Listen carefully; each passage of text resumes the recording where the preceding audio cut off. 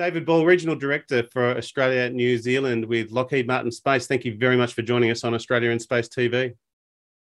G'day, Chris. It's great, uh, great to have some time with you today. Thank you. Nice. Uh, ANZ Regional Director, but I understand you're there in Colorado, uh, and that, that is Lockheed Martin Space headquarters. Is that correct? Yes, it is. We have a number of facilities in the Denver area, and I'm most over here doing some meetings this week. And so looking forward to getting back to Australia where the temperature's above zero. nice. Well, I'm in Sydney, so it's not too bad today. Um, yeah. Look, Lockheed Martin is always one of those. Uh, it's an astounding company. It's the biggest uh, sort of defense contractor to the US uh, as well. And I was there with Lockheed Martin in 2012, I believe. I did a media tour. So I got I've got the breadth and, and the scope of Lockheed Martin. It's uh, as I mentioned across all domains. Uh, but space uh, is a bit of a standout for Lockheed uh, and how it integrates with the other technologies that it's involved with.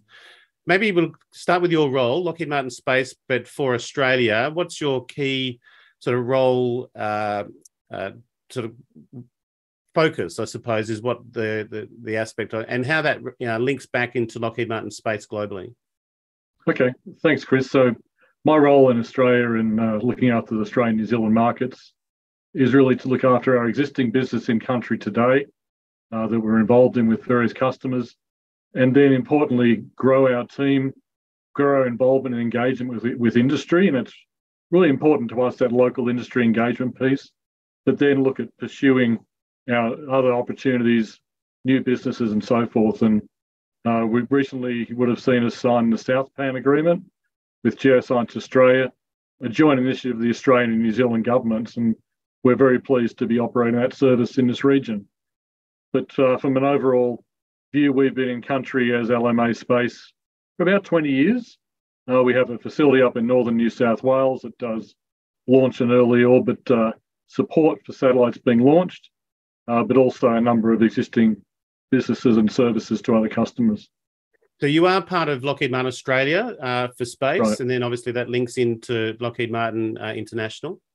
Yeah, Lockheed Martin Australia has uh, has all four business areas uh, represented in country. Our aeronautics business, our rotary mission, rotary mission systems organisation, missiles and fire control, and space. And we're all involved in various activities in country. And the LMA organisation provides that umbrella uh, for engagement with the customer and government affairs and all the back office support elements. But my role specifically reports through the global business area of LM Space back to the headquarters here in Colorado. Nice. Now, for the audience, SouthPAN is the Southern Positioning Augmentation Network contract. It's a $1.18 billion contract uh, with the Australian government. Uh, maybe just talk us through what that is involving and uh, the significance of it. Sure, thanks. It's a it's a you know, a fairly large contract. It's a long duration contract too. So under the contract, we'll establish and then maintain and operate the network for, for our customer. The, the intention behind the, the contract is to provide augmentation to GNSS or GPS and Galileo signals that we use today on our iPhones and, and other phones. And it's to supplement the accuracy of GPS and also in, in a phase we're implementing currently to improve the integrity of that GPS signal. So to think about using navigation services today, the current service provides about a you know five to 10 meter accuracy, but it's not of a known integrity bound. So under, under the SouthPAN service, we'll install certain infrastructure around Australia and a couple of overseas locations to provide a correction signal to that GPS that'll be processed in Australia and at the second site in New Zealand that will bring the accuracy down to five to 10 centimeters. Right. So it's a marked improvement in accuracy. And in other capabilities, it's also going to put an integrity bound around it, as I mentioned, so you know horizontally and vertically exactly where you are within a certain tolerance. And the main user there is the aviation sector, that they can then have, uh, have precision and confidence in their vertical position on landing approach and this is used at airports where there are no navigation aids. So Melbourne and Sydney airports, for example, have very robust, um, complicated systems of landing aids for the for pilots. If you take that to a remote and rural setting, such as where the Royal Flying Doctor Service is operating or where mining companies are landing some reasonably large aircraft into, into airfields which don't have those support facilities, that turns that airfield into one with that capability to go down to 200 feet decision height, make a decision on landing or, or abort the landing. And that you think about bad weather situations, that enables pilots to perhaps secure a landing where otherwise they might not be able to. And particularly for Royal Flying Doctor Service, that might enable them to get in somewhere to treat a patient or get a patient out back to back to a major hospital. It's really interesting as you start thinking through an SBAS service or space-based augmentation service like SouthPAN. What are the other applications that are going to come out? Aviation is but one. You think about precision agriculture, automated transportation systems, where you have an integrity bound around it, and you can use driverless transportation systems with confidence that you know exactly where everything else is, where the edge of the road is, where road signs are, where where traffic signals are, and you think about it for, you know, for example, mining sites, where we have large open cut, cut mining sites today with autonomous trucks in them, enabling them to operate with greater accuracy and also know where the people are. So there's a geo fencing around activities in mining sites. So pretty excited by the project, as you can tell. Uh, we're we're uh, very very honoured to be able to operate that for both governments and already up in service with the initial capability now. Well, what, what's the sort of the feedback back into the Australian industry? I understand uh, it involves ground-based systems as well. There was a contract signed with Avcomm, uh, a New South Wales business here. Yes. What's the what's the sort of flow-on effect for the Australian space sector? Well, there's some, some good flow-on effects. You mentioned Avcomm, who will be a, a primary subcontractor under the under the service to help install the large antennas in Australia and New Zealand that we'll use to communicate with the uh, with the spacecraft that Geoscience Australia will will acquire. And then there's a ground network of correction stations across Australia and New Zealand and in some overseas locations. So all the terrestrial communications back from those ground reference stations back to the correction stations. Um, it's a fairly complicated network. There's some very specialized system engineering work which is going with a couple of our technology partners internationally to bring that technology to Australia and help help uh, develop the Australian capability. Uh, one of the other things I think is interesting is you think about the terminal side of things, and that's not in our scope of capability, but you will see the market respond in terminal capabilities for user communities, either on you know mo- mobile platforms like the agricultural machinery or handheld services, yeah. uh, depending on the application. Um, and I suppose the other aspect to that is uh, that that that linkage to your does it link back to your traffic management system in, in your air traffic management system? Is that part of the overlay of that as well? No, it's not part of our scope. Uh, that will be between Geoscience Australia and Airservices Australia and Airways New Zealand are their ultimate customers for the service. There'll be there'll be arrangements between the government agencies in that regard. Fair enough. Well, I suppose the other aspect, what we're seeing, uh, a lot of discussion around AUKUS at the moment. We've got a UK Australia space bridge as well.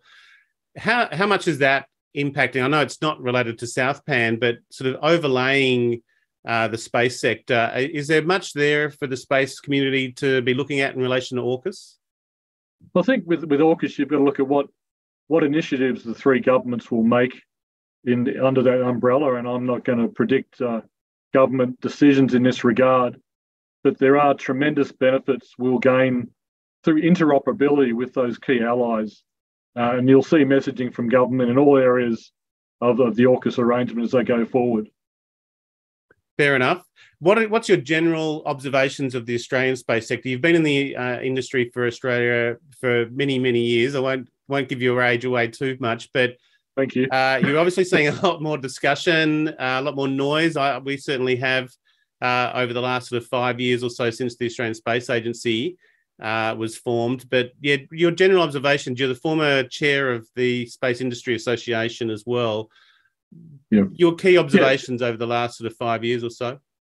Yeah, thanks, Chris. It's, it's been a real interesting journey since since I got out of the Air Force, you know, so many years ago, to join the space sector in Australia and went through those long year, lean years before we had an agency established. And you referred to the Space Industry Association of Australia. There, I was treasurer for a long time, and I remember back in the days where we had 20 members and a few thousand dollars in the bank, and now we got to the point where we're able to uh, be the host for the International Astronautical Congress in 2017 in Adelaide. That was a tremendously successful event, and I think really helped open the eyes of Australia and the Australian government and other other areas of industry to the fact that there is a substantial space industry to be had. We then subsequently saw government establish the agency, and that's really become a focal point trigger for industry to to start to create capabilities. We've seen a number of startups in country, and it's been really exciting to see that inspirational focus for industry as we as we grow the sector. We've seen that on the upstream side with with folks who are building launch vehicles, launch facilities, building satellites themselves. We've seen some great achievements recently in that regard. But also, you think about the downstream. What applications do we run over these new services and new new facilities in space? What do you do? How to process the data, uh, exploit the data, and leverage communication services, navigation services, Earth observation services, weather, ultimately the agency is looking at human spaceflight endeavours. So it really has excited the industry. And I think in turn for us, it's really great to see that the kids getting excited about yeah. studying you know, engineering and science and technology subjects and going into the space sector. But the space sector is broader than just the engineering technology. I say that as a reformed engineer, that uh, we, we see the tech side of things, but also the, the whole support tail project, project management, financial folks all across the organisation to impose is needed to make the sector run. So it's a pretty exciting time in my view. And what advice would you give to the to the industry, particularly either for either startups or those coming into the industry? Um, sort of a two pronged uh, question is uh, where do you see Australia's strengths uh, in in a global sort of space sector? Where, where do you where do we stand out? Yeah, a couple of interesting ones there. I think you look at the fact that we've just established the space agency, and you know, other agencies are 50 or so years old. We, we've got the ability to start with a fairly blank canvas and create new technology, new capabilities, new facilities that are designed and tailored for where technology and evolution is today. So it enables us to leapfrog certain activities, to take that forward looking stance with the latest and greatest technology. But also, you think about Australia's geography, where we are in the world as a, as a you know, you know, an AUKUS nation, as you talked about earlier, in the southern hemisphere. That's something our other AUKUS partners don't have, and other Western countries don't have. So we have the southern hemisphere basing and geography. Our east to west coast um, spacing gives us tremendous view of different parts of the orbit for space domain awareness and communications connectivity. So we're, we're really well placed as a nation to have some key advantages and, and uh, capabilities that we go forward with. Anything on the technology side? Uh, you know, we've got some quantum uh, research happening, uh, some others potentially launch capability as well. Any other standouts from a technology uh, viewpoint? Yeah, you've got some really great material sciences work going on here very uh, world-leading astronomy research that's been done over years, and that's key to our ability to tap into the space sector. You mentioned uh, the quantum side of things, which is growing in leaps and bounds. It's there's all ultimate technical um, spread in terms of the areas that we're well well advanced in, and because we don't have that lo- legacy infrastructure to maintain, you can be more efficient where you make your investments in new new great services. Nice. You mentioned launch vehicles some great activities going on there. We've seen New Zealand as well as Australia yeah. uh, do some great episodes there. Uh, ELA in Northern Territory had their maiden launch last year. Uh, we have we'll look at South Australia. We'll get their maiden launch done very soon, and it's just great to see where some of the launch vehicle manufacturing is going with companies like Gilmour Space out of Queensland.